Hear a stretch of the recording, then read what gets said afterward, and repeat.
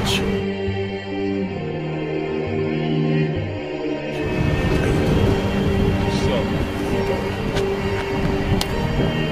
Alright, I'm pretty sure you have an understanding why we're here. The Mafia's Don. Asked me to talk to you. He said he wants to put a hit out on Joey Vaughn.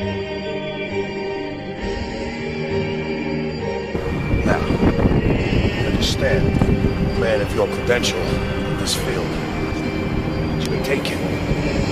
First be his friend. Tell him, you know, how much you like him and how much you like his fucking music.